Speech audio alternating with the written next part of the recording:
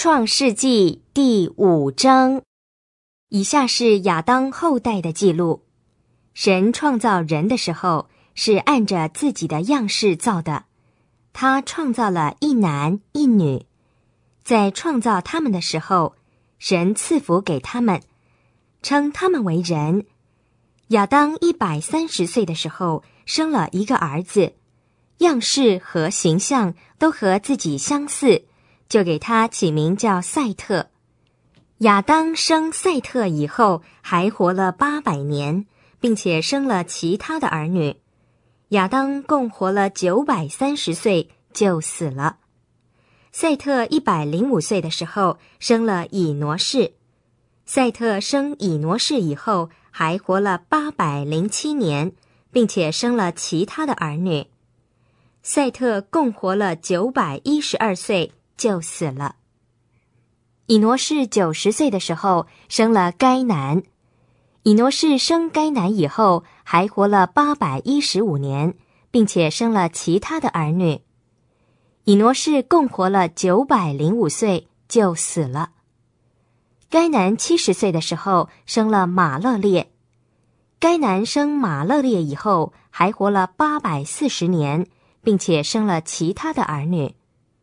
该男共活了九百一十岁就死了。马勒列六十五岁的时候生了雅列，马勒列生雅列以后还活了八百三十年，并且生了其他的儿女。马勒列共活了八百九十五岁就死了。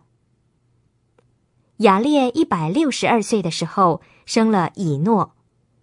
雅列生以诺以后，还活了八百年，并且生了其他的儿女。雅列共活了九百六十二岁就死了。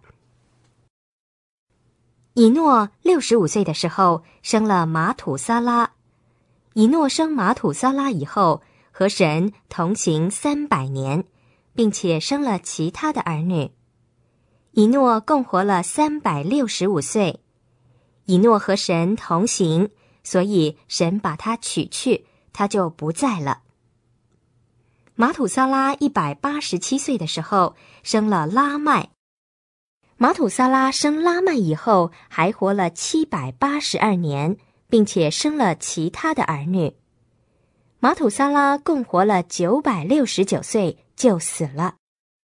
拉麦一百八十二岁的时候生了一个儿子。就给他起名叫挪亚，说：“这儿子必使我们从地上的操作和手中的劳苦得着安慰，因为耶和华曾经咒诅这地。”拉麦生挪亚以后，还活了五百九十五年，并且生了其他的儿女。